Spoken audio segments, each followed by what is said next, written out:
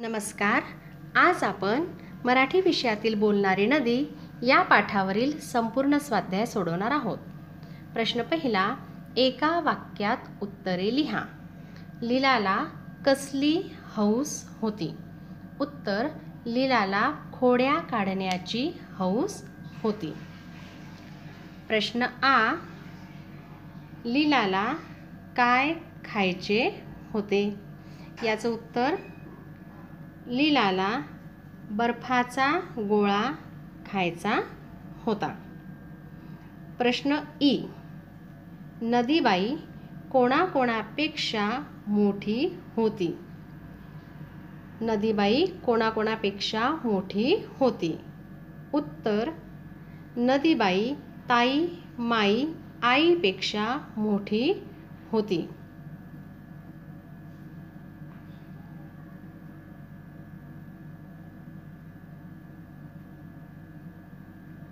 प्रश्न ई. आईने पेढ्यांचा डबा कोठे ठेवला होता?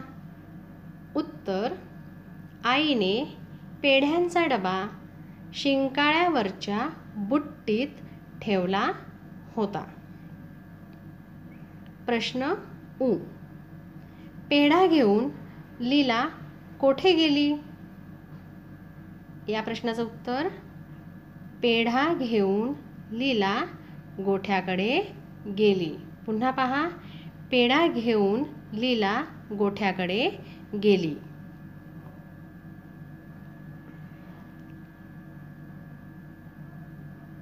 प्रश्न दुसरा.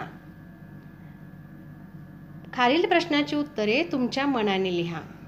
तुम्हाला काय खावेसे वाटते?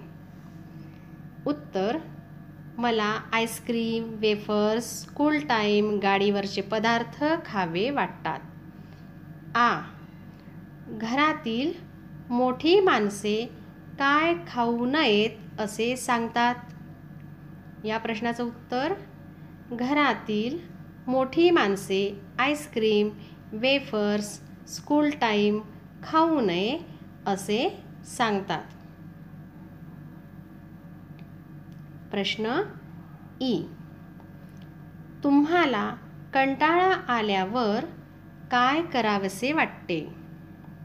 याचं उत्तर टी व्ही पाहावासा वाटतो मोबाईलवर गेम खेळावे वाटतात.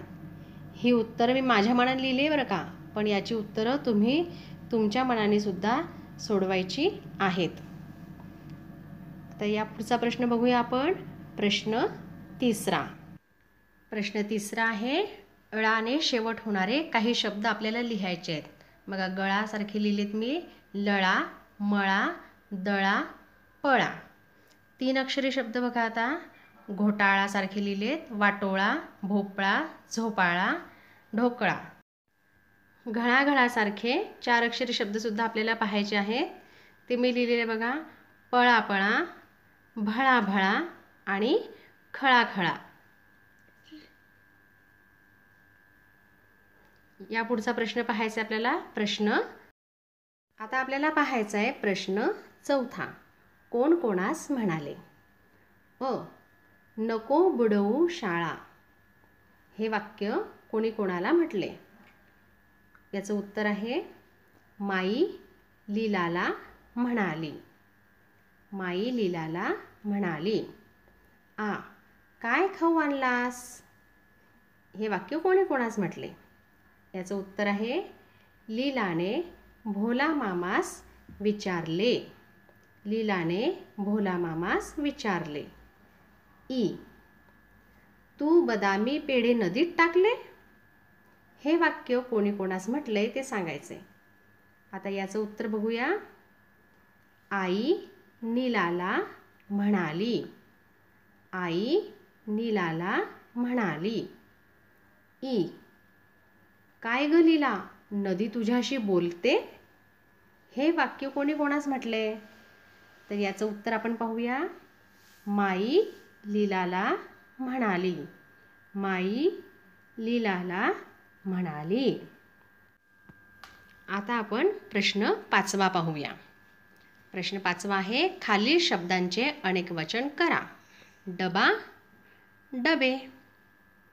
दुसरं आहे बैल. याचं अनेक वचन बैलच राहते. तिसरं आहे नदी. नदीचं अनेक वचन होते नद्या. चौथं आहे डोळा. याचं अनेक वचन होते डोळे. पाचवं आहे दिवस. याचंही अनेक वचन दिवसच राहते. आणि शेवटचं आहे पेढा. याचं अनेक वचन होते पेढे. पेढा पेढे. आता पुढचा प्रश्न पाहूया. प्रश्न सहावा. लीलाप्रमाणे तुम्हाला नदीशी बोलायचे असेल तर तुम्ही नदीशी काय बोलाल? नदीबाई तू कोठून वाहत येते व कोठे वाहत जाते? तुझ्या पाण्यात आम्हाला खूप खेळायला आवडते. माणसाने तुला खूप घाण केले. तुला याचे वाईट वाटत असेल ना? तरी तू आम्हाला तुझे गोड पाणी देते. याप्रमाणे तुम्ही तुमच्या मनाने सुद्धा उत्तर तयार करायचे आहे बरं का? आता पुढचा प्रश्न पाहूया आपण. प्रश्न सातवा. प्रश्न सातवा आपल्याला पाहायचा आहे.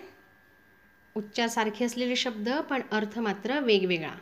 जसं वावर. रामजीच्या वावरात कापसाचे पीक आहे. इथं वावर म्हणजे आहे शेत. दुसरं आहे सरपंचाच्या घरात लोकांचा नेहमी वावर असतो. यामध्ये वावर म्हणजे आहे वर्दळ एजा. याप्रमाणे दोन अर्थ असलेले पाच शब्द तुम्हाला शोधायचे आहे आणि प्रत्येक शब्दाचा अर्थ दाखवणारे वाक्यसुद्धा तयार करायचे आहेत. मी या ठिकाणी काही वाक्य बनवलेले आहे ते आपण पाहूया.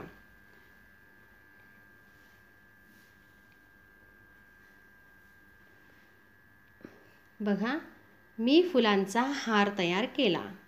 खो खो सामन्यात आमची हार झाली. आज सोमवार आहे. तलवारीने वार केला. या ठिकाणी वार आणि वार दोन्ही वेगवेगळ्या अर्थाचे शब्द आहेत. मी कोकमचे सार पिले. सार म्हणजे सरबत. या कवितेचे सार लिहा. तर सार म्हणजे सारांश. चौथं वाक्य मी चहासोबत पाव खाते. तर पाव म्हणजे ब्रेड. आणि ताईने पावभर साखर आणली. इथं पावभर म्हणजे साखरेचं वजन. पाचवं वाक्य मी कणकेचा शिरा खाल्ला.